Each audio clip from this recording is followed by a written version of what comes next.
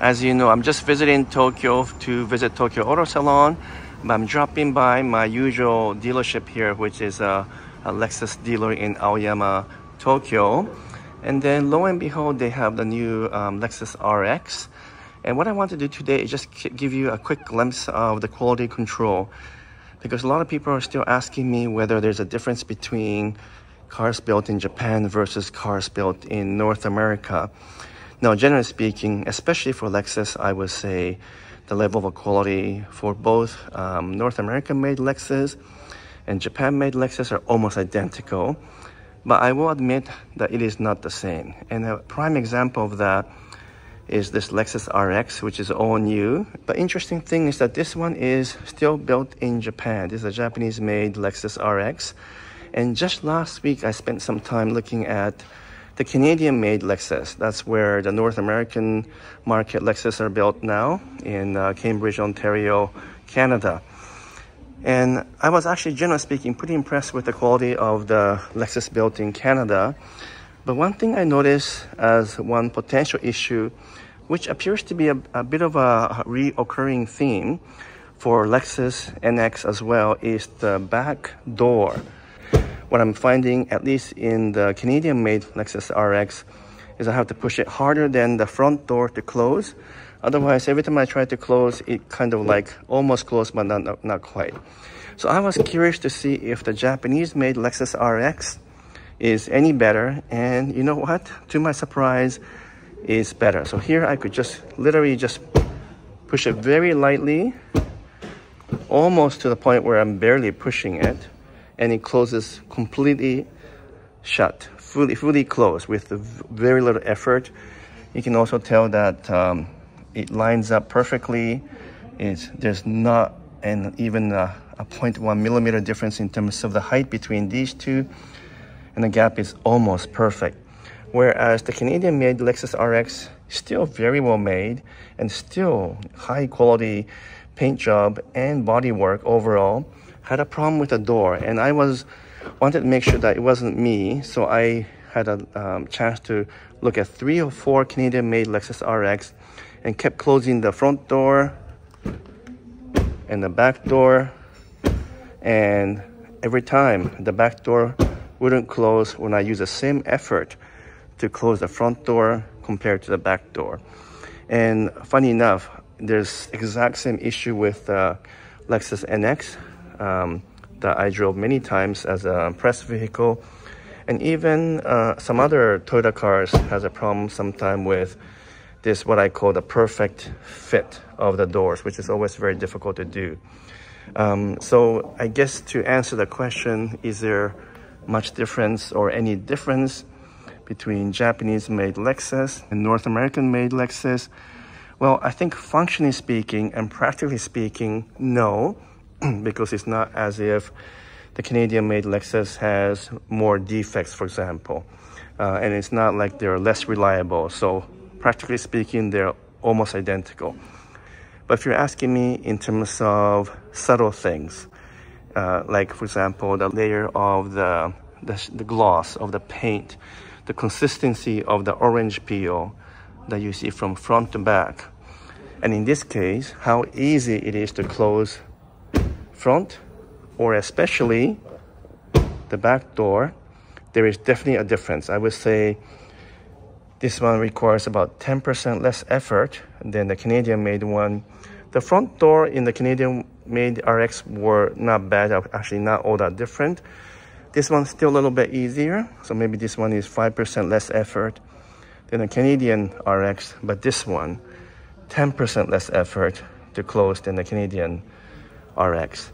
I also noticed in terms of looking at the gap on the rear hatch, which is always harder to align perfectly and to get it right between that side and this side. I noticed the Japanese made RX are just a tiny bit more consistent uh, in terms of the gap alignment and gap uh, levelness. And I know most of you guys are wondering who cares about the gap, who cares about the alignment.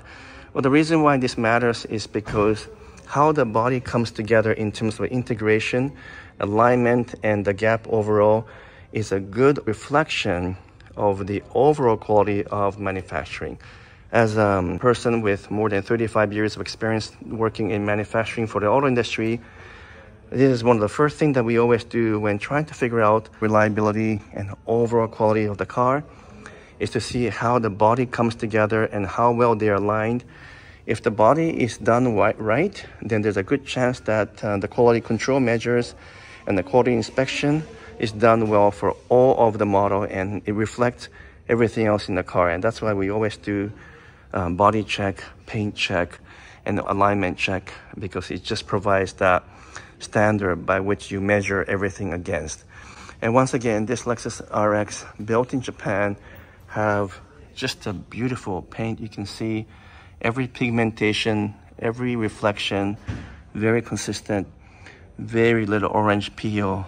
And you just cannot get a better paint job than this. Even if you compare it to cars costing two, three, four, five times, maybe 10 times more, you're not going to get a better paint job in uh, Rolls-Royce than this. This is absolutely first class. And uh, even if you look at the interior, I would say there's less difference between the Canadian-made RX and the Japan-made Lexus in terms of the interior.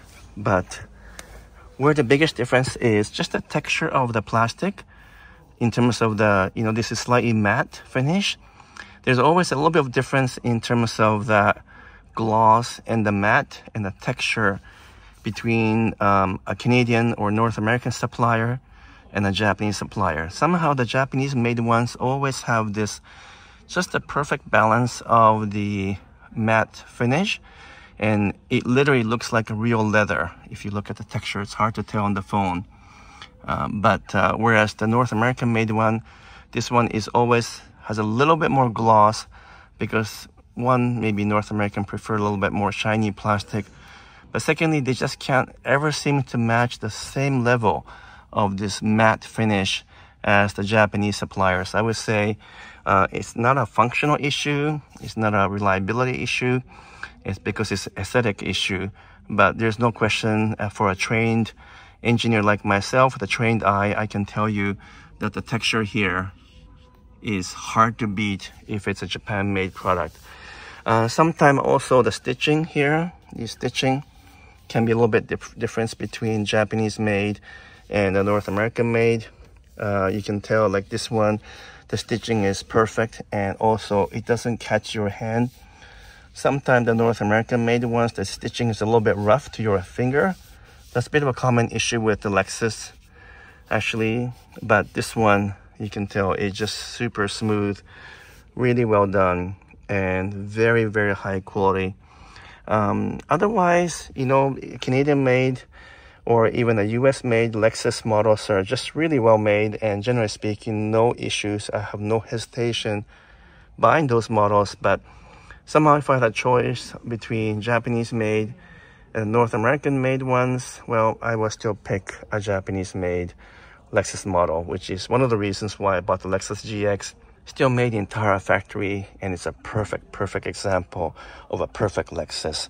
Now, I will admit, generally speaking, by the way, I do really like the Lexus um, RX interior. Gorgeous um, material selection between wood and plastic, combination of a glossy black.